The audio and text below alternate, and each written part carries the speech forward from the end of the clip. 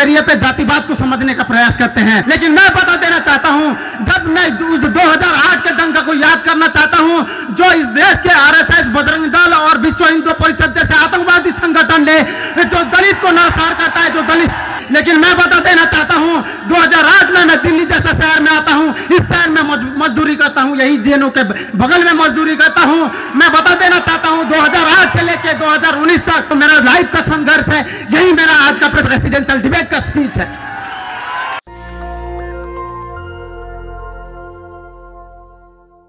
के इस presidential debate में आए हुए तमाम साथियों को मैं बादशाह फ्रिटर्निटी की तरफ़ से जय भीम, हुल जोहर और सतरंगी सलाम पेश करता हूँ। साथ ही साथ मैं उन कश्मीरियों को अपना सलाम पेश करना चाहता हूँ जो अपने आज़ादी के लिए लड़ाई लड़ रहे हैं।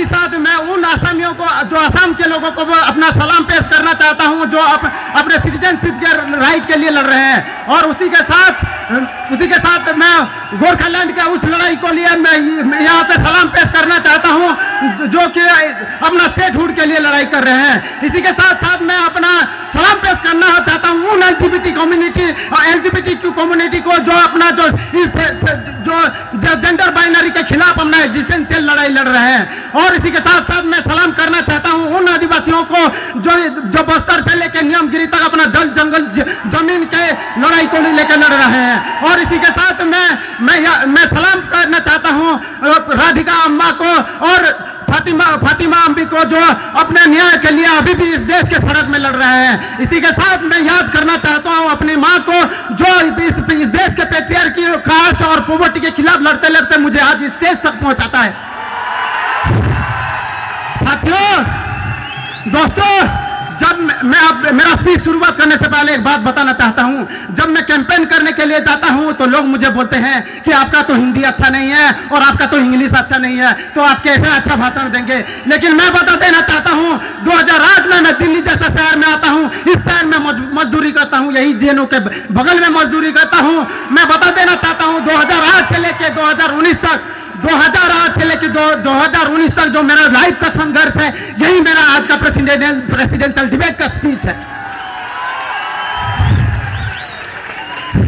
और जब मैं 2013 में इस कैंपस में आता हूँ तो देखता हूँ यहाँ पे लोग यहाँ पे किताब के ज़रिए पे जातिवाद को समझने का प्रयास करते हैं। किताब के ज़रिए पे यहाँ पे छुआछूत को समझने का प्रयास करते हैं। किताब से ज़रिए के इस्लामोफोबिया को समझने का प्रयास करते हैं। कितने किताब के ज़रिए से जो कम्युनलिज्म को कम्युनलिज्म को समझने का बात करते हैं। लेकिन मैं बता देना चाहता हूँ, जब मैं उस 2008 के दंगा को याद करना चाहता हूँ, जो इस देश के आरएसएस, बजरंग दल और विश्व हिंदू परिषद जैसे आतंकवादी संगठन ने, जो दलित को नरसंहार करता है, जो दलित जो दलित क्रिश्चियन है, जो दलित क्रिश्चियन है, उसको नरसंहार करता है उनके, और उनको ज़िंदा गाड़ता है और इनको ज़िंदा जलाता है। और पचास हज़ार जो दलित क्रिश्चियन है, वो आज तक उनका पता नहीं होता है कि वो कहाँ रहते हैं, उनका क्या अस्तित्व होता है। और और दोस्तों, आज ये आरएसएस और बीजेपी इस देश में एक पॉलिटिक्स खेल रहा है। एक डर का माहौल पैदा कर रहा है। और ये जो एबीवीपी जैसा संगठन, इसे जो आरएसएस और बीजेपी जैसा जो हिंदुत्व फासिज्म का जो एक एजेंडा है, उसको लेने का इस देश में प्रयास करते हैं प्रयास करते हैं। लेकिन मैं उस मैं बताना चाहता हूँ, इस मंच से लेकिन मैं इस, इस मंच से बताना चाहता हूँ मैं एक आशा का किरण तभी दिखता है जब रोहित वेमुला मूवमेंट इस देश के हर कोने में लगातार रहता है। यही लोग रोहित वेमुला का इंस्टीट्यूशनल मर्डर करते हैं।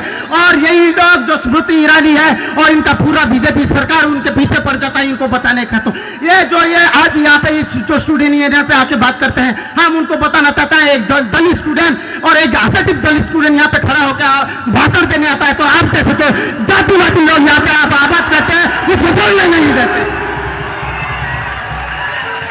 और और इस देश में आज मुसलमानों को जो जो निरीह मुसलमान है, जो गरीब मुसलमान है, उसको लिंच किया जाता है। वो पहलू चाहे वो पहलू खान हो तो चाहे यूपी में हो, बिहार में हो, बंगाल में हो, मुसलमानों को लिंच किया जाता है, गाय के नाम पे लिंच किया जाता है श्री राम के नाम पे लिंच किया जाता है, दलितों को लिंच किया जाता है, आदिवासी को लिंच किया जाता है।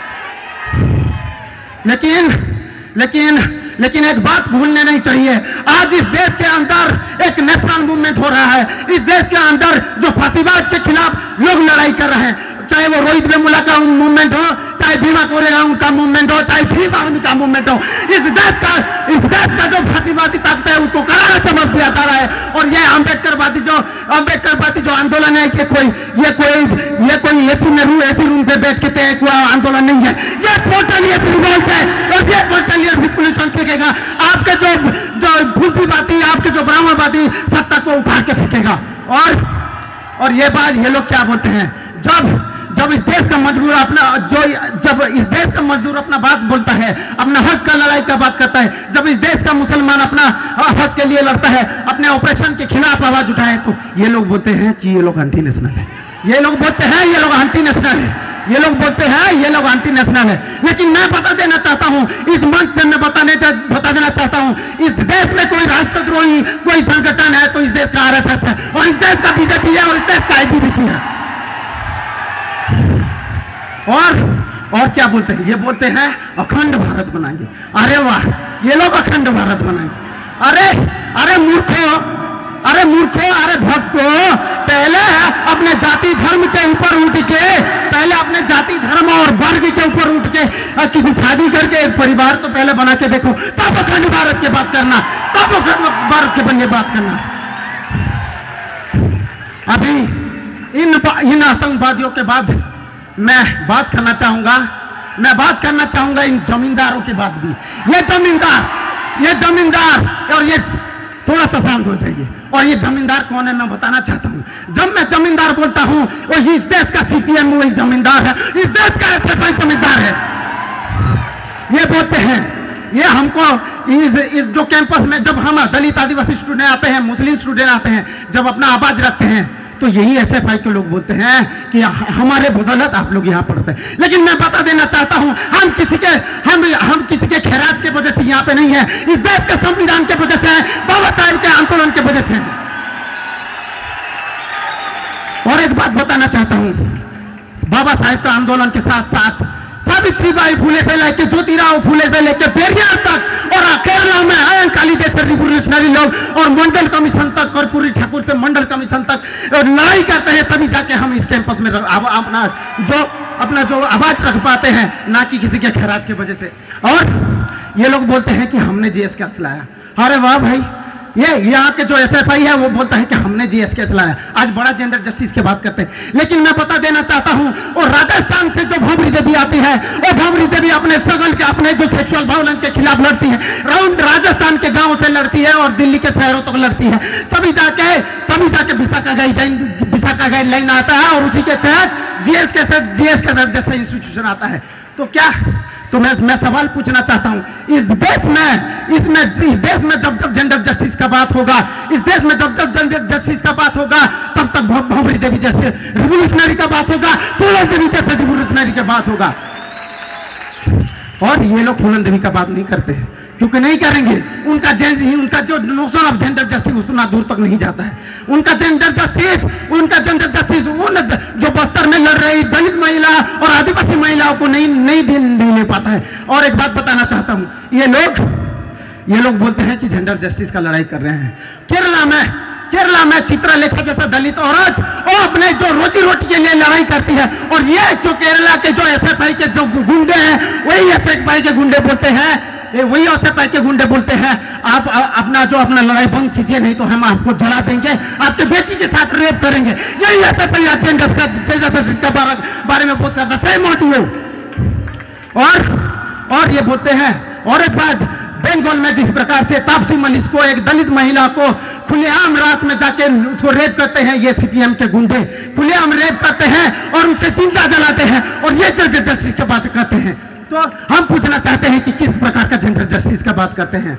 और क्या बात करते हैं पूंजीवाद का? अरे भाई पूंजीवाद तो को बात तो बहुत करते हैं आप। हम हम बताना चाहते हैं कि जो कैपिटलिज्म को लाने वाला जो जो कोई संगठन है तो सीपीएम है। और आज अगर आज अगर मार्क्स ज़िंदा होता तो पहले इस देश का जो बहुजन है, इस देश का अधिपति है, इस देश का पिछड़ा उसको बोलता कि अगर आपको आंदोलन करना है इस देश में तो पहले एसएफआई जैसे मनुवादी संगठन को खत्म करो।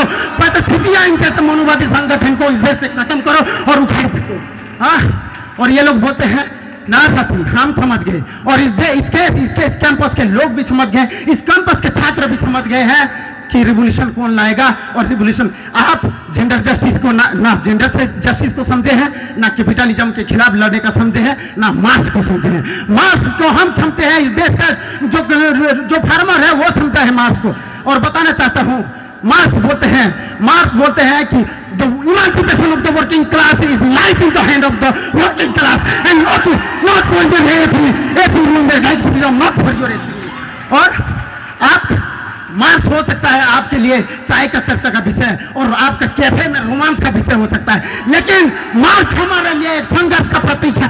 अंबेडकर हमारे लिए संघर्ष का प्रतीक है और हम वही संघर्ष को लेकर और हाँ तो ये बात करते हैं। तो मैं बता देना चाहता हूँ, हम जैसे जो आज वर्किंग क्लास के फैमिली आज, और ये लोग ऐसे ऐसे भाई लोग बोलते हैं कि आप आप तो इस मुसलमान संगठन से गठजोड़ करते हैं। और ये लोग फैलाते हैं बादशाह जैसे संगठन और फ्रेटर्निटी के संगठन के खिलाफ कि आप इस्लामोफोब हो। और हम बता देना है ये जो एस एफ़ आई का जो इस्लामोफोबिया है, इस कैंपस का लोगों को पता है, जब मुस्लिम ये लोग मुस्लिम स्टूडेंट को वोट बैंक की तरफ़ ट्रीट करते हैं। लेकिन हम बता देना चाहते हैं, जब जब मुस्लिम स्टूडेंट अपना हक की बात करता है तब आप उसको तब आपको इस्लामोफोबिया का जो चश्मा है, वो पहन के आप उसको आप उसको बोलते हैं कि आप तो कम्युनल हैं, आप कम्युनल ऑर्गेनाइजेशन के साथ जुड़ते तो ये ये जो जो हेमोफोबिया है, ये सिर्फ़ एस एफ़ आई का दिन है। इन्हीं का इन्हीं का सरकार केरल में रहता है, इन्हीं का सरकार का, और सबसे ज़्यादा जो मुसलमान जो जेल के अंदर होता है यूएपीए के अंदर तो यही लोग हैं, और यही लोग हैं। और ये लोग आंदोलन। और जब कैंपस की बात आता है पिछले 30 40 35 साल से यहाँ पे लेफ़्ट का यूनियन रहता है। लेकिन क्या करता है? आज भी एक भी प्रोफेसर जो आज भी एक भी ओबीसी प्रोफेसर इस इस, इस, इस कैंपस में नहीं है तो इस किस प्रकार का क्रांति है? इसकी किस प्रकार का कम्युनिज्म है? हमको थोड़ा बता दीजिए हमको भी समझ में आ जाए। और यहाँ पे मेरे जैसा जो गाँव देहात से जो स्टूडेंट आते हैं गाँव देहात से छात्र आते हैं और बोलते हैं यहाँ के जो गायों देहात से छात्र आते हैं, उनको यहाँ पे ड्रॉप आउट किया जाता है। और यही प्रोग्रेसिव से सेंटर सब में ड्रॉप आउट होता है। वो यहाँ पे खाली हाथ आते हैं और खाली हाथ जाते हैं। बादशाह जो अपने जब 2014 में बादशाह का इंसेप्शन होता है तो बादशाह कंसिस्टेंसली लड़ाई करता है, जो ड्रॉप आउट का इशू को खत्म किया जाए बोल के। और बादशाह ने लड़ा है और हम बता देना चाहते हैं कि शाह में हमारा एक काउंसिलर जीता है। और जो हमारा काउंसिलर है और हमारा जो काउंसिलर जो शाह का ड्रॉप आउट बहुत रेट था। लेकिन आज हमारा काउंसिलर के काम के वजह से आज एक भी आज के डेट में एक भी ड्रॉप आउट नहीं है शाह स्कूल में तो हम स्टूडेंट कम्युनिटी को बताना चाहते हैं जो गाँव से आते हैं वो देहात से आते हैं वो सभी को इन्वाइट करना चाहते हैं कि बादशाह जैसा आंदोलन में शामिल हो ये जो लेफ़्ट यूनियन जो लेफ़्ट यूनियन है इस, इस कैंपस में एक स्टूडेंट मूवमेंट खड़ा करने में बुरी तरह से फ़ोन होता है और बादशाह जैसे संगठन और मैं बता देना चाहता हूँ जो पीडब्ल्यूडी को Speaker, please wind up your speech. Your time is over. Speaker, please wind up your speech. Your time is over. Election committee condemns the derogatory term